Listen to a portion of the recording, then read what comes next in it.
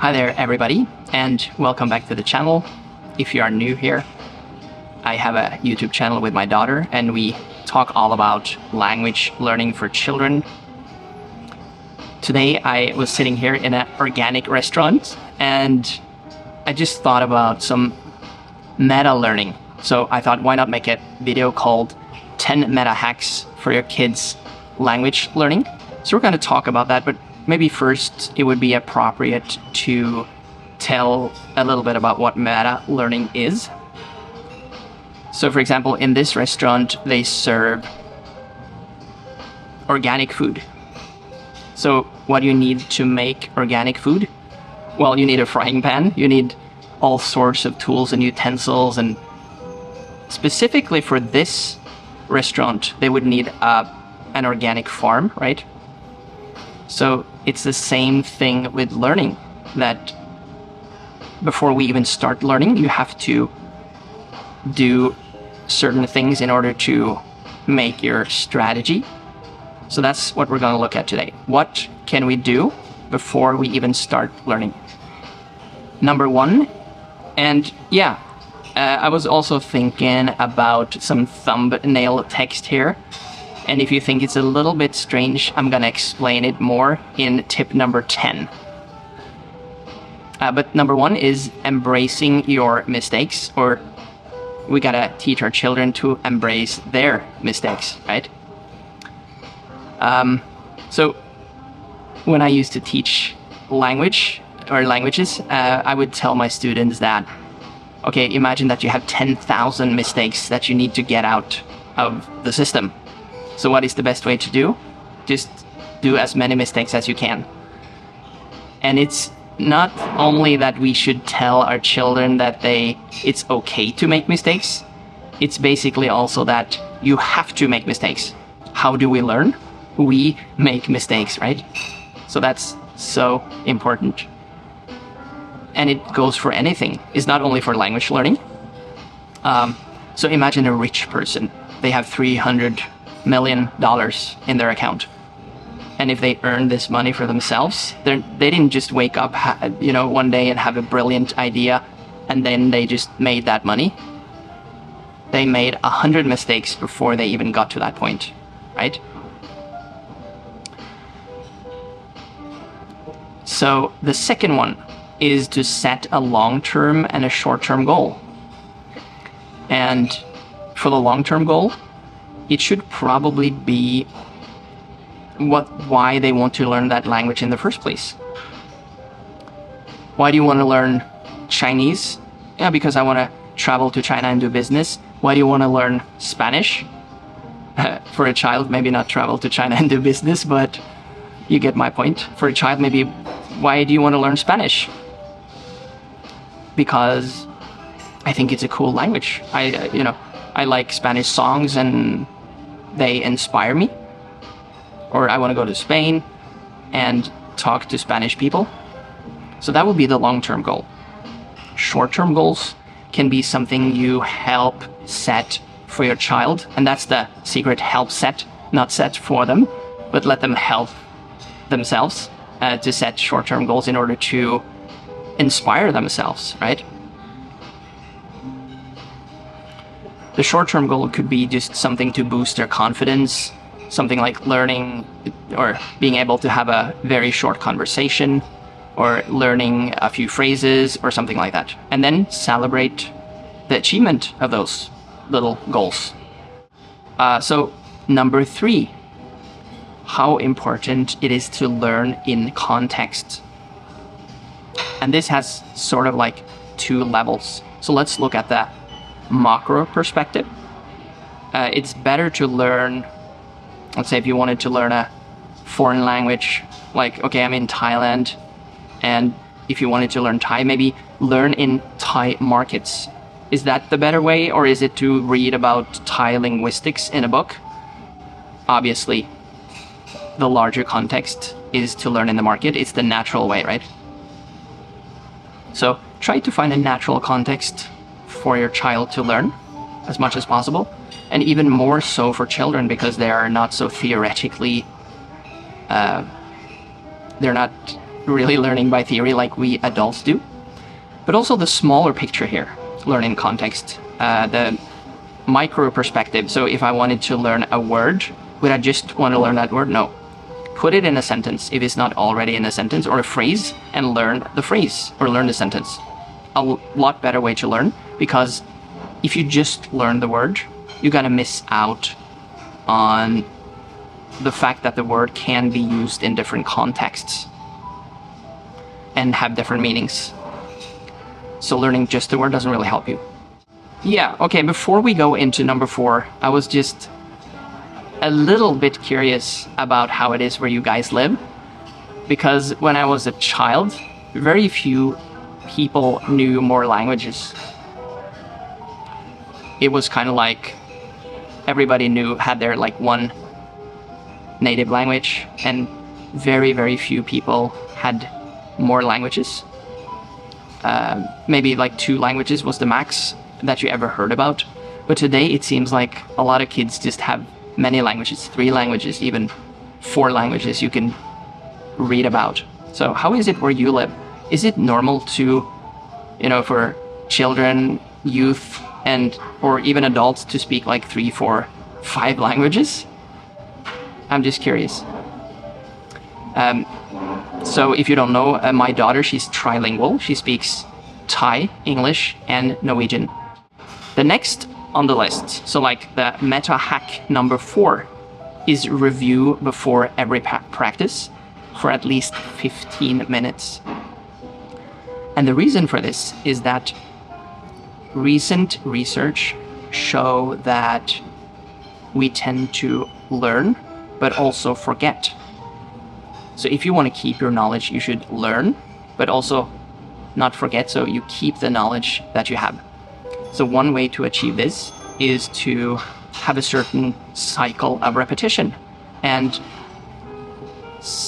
you know, science has shown that there is this certain uh, recipe for this. So if you repeat everything you learn with a child within 24 hours, and then within the week, and then again within three months, and then within a year, then you won't really forget it because you put it from your short term memory into your long term memory. And how can you do this with your child? There are several ways. Uh, for example, there's one application called Anki where you can, it's like open source, so you can do anything with it. You can even have ChatGPT write flashcards for that application. So you could put everything that your child learned into it, and then when the flashcards appear, you kind of repeat it with your child. Or do it the natural way. A conversation is probably the best way to repeat anything because in order to talk, we have to first comprehend, then formulate sentences, and then the person that we talk to have to comprehend, and then so we kind of practice everything. And if you mix those two, it could be a great way to have a sort of systemized repetition for your child. Teaching others is a very good way for your child to learn a language. So this is hack number five. Because when you teach something, you have to know it more than just a little bit, more than just being familiar with that concept that you're teaching. So there is a reason that the oldest sibling in a family will usually be smarter than the other kids, or not necessarily smarter, but at least like have more knowledge, maybe. That's a tendency. And it's because this sibling teaches every single one of her or his younger siblings, right? Next one is developing a learning routine. And how that routine is, isn't as important as having the routine. And this is something that you can help them with if they're not able to establish their own routine. You can help them to remind them that, okay, maybe now we do half an hour after school, or when they wake up, or in the weekend, or whatever that routine is. And then once the routine is established, then it's easier to, you know, add on to it, maybe make it longer. But children are very happy to have a routine, uh, not only when it comes to languages, but when it comes to everything like rules. They like rules and routine, and they can flourish under those conditions more easily than adults. The next one on the list, hack number seven, for meta learning before you even start learning a language, is mapping out the child's primary learning sense. What does that mean? Well, we have auditory learners, we have visual learners, we have kinesthetic learners, and so on. So that can play a role in how your child, you know, or how well your child lear- learns a language. But you have to understand that this concept that we as adults are used to is less pronounced in children. So it's not as important for children as it is for adults. So for children, it's kind of like more play. The more you can play, the better or the more language they can learn because playing is working like for children.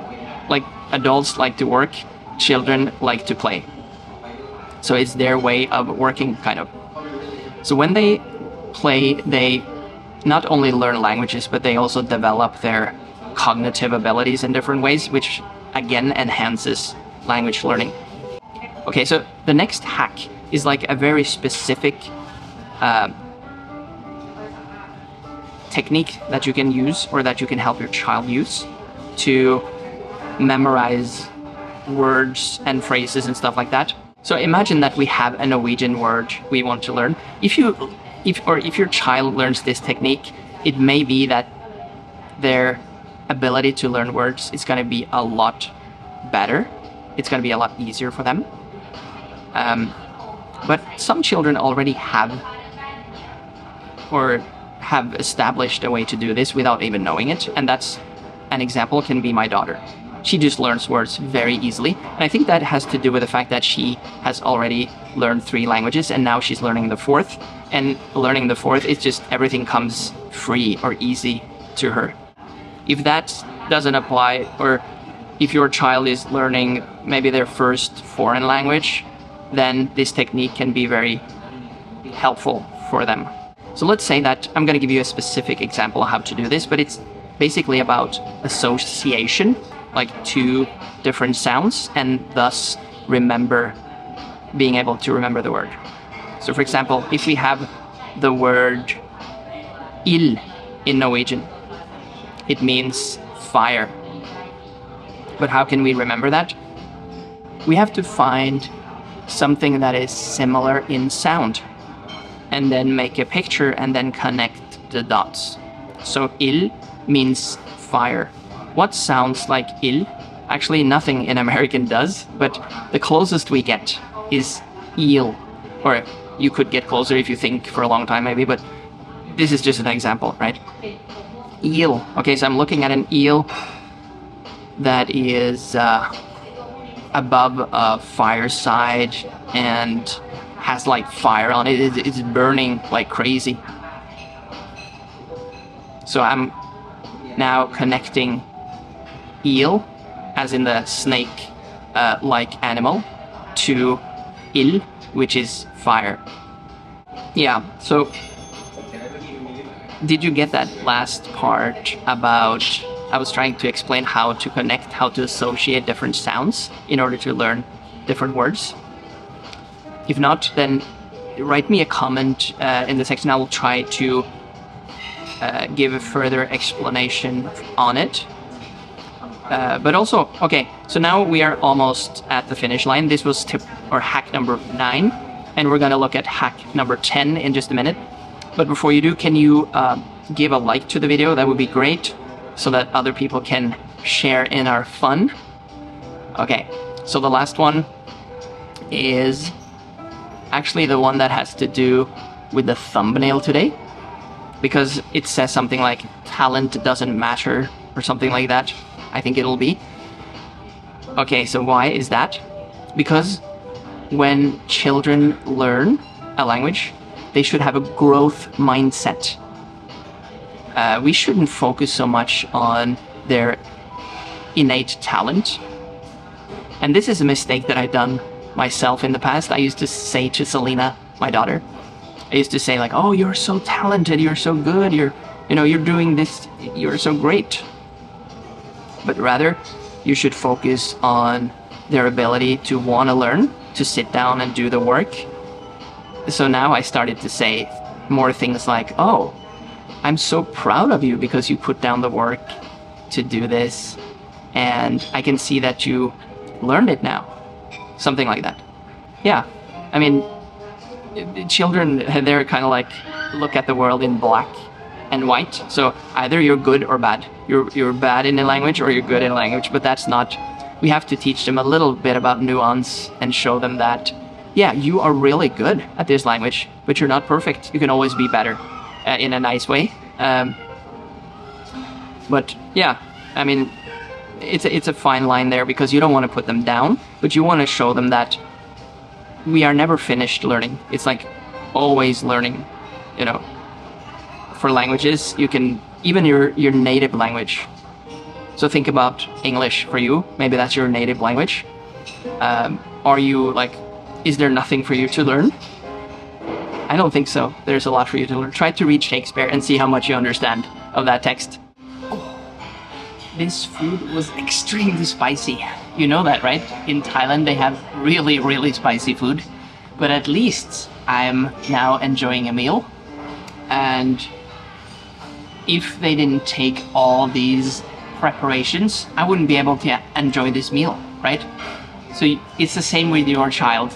You need to take all the preparations in order for them to enjoy their meal or their language learning.